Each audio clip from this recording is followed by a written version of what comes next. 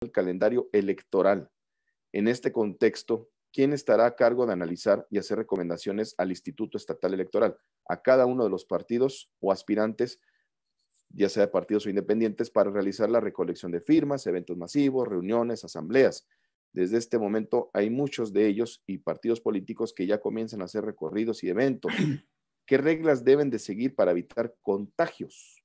Pregunta abierta, doctora Ruiz, doctor Gumaro Barros. Eh, gracias, Carolina. Pues es muy importante.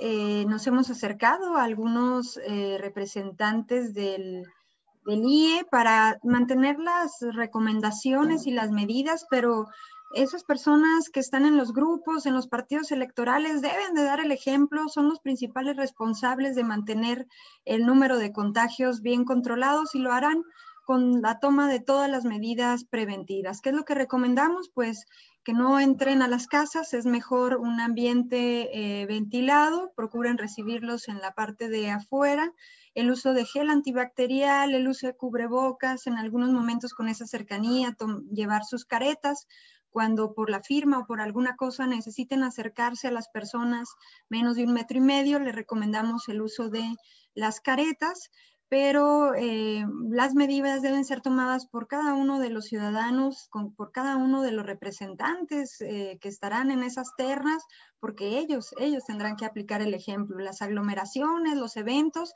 recuerden que en el amarillo no se permiten eventos de más de 500 personas y con 500 personas todas deben de guardar la sana distancia, un metro y medio entre personas con esto evitaremos eh, las aglomeraciones, evitaremos los contagios masivos. Una persona que ande ahí enferma puede contagiar a muchas si no se mantienen las medidas, pero por lo contrario, si esa persona toma las medidas, podemos reducir prácticamente el 90% de los contagios, a pesar de que haya ido alguna persona enferma. Así que ánimo partidos políticos, pero